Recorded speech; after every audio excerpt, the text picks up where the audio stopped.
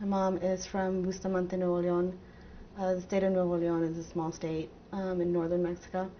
My mom moved here to the United States to Dallas when she was 19. She knew one skill, and it was how to clean, and she knew she could do it well.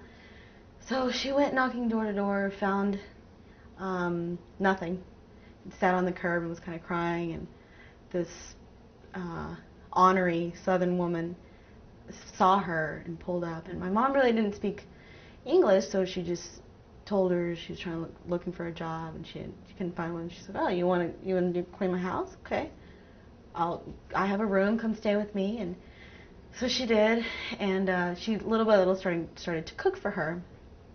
And Mrs. Collins and her husband had a dinner party one night, with a bunch of their Southern friends, and uh, she, Mrs. Collins wanted fried chicken. My mom you know, there's not much fried chicken in Mexican cuisine, so she tried and uh, failed miserably. And she remembers that uh, the Mrs. Collins was going to bite into a drumstick and it was raw.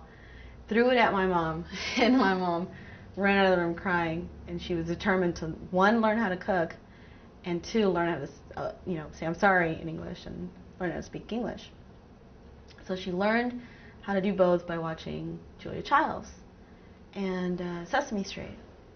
And her favorite quote was always the Sesame Street grocery list, and it was a stick of butter, a loaf of bread, a carton of milk, and a dozen eggs.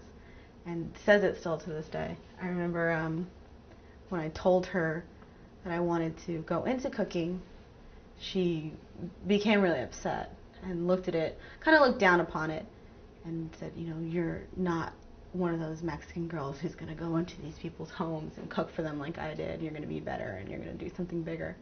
Um, if I were to work in a kitchen in Mexico, I would never have the opportunities that I do here. I'd be, you know, rolling out their doughs or making pastries or I, I thank my mom because of it. I, I had the best, some of the best French food, you know, because she learned how to make that at a young age and taught me how and growing up in the kitchen next to her, it was really important for her to to have that for me. And, and when she finally agreed to let me do it, um, I think she's now the proudest mom ever. Mrs. Collins died. Um, I can't remember the year, but she left my mom everything, um, and left her the house, and we all moved in, and uh, I, I lived in Highland Park until the until like 1995 and you know I had a really good upbringing because of it.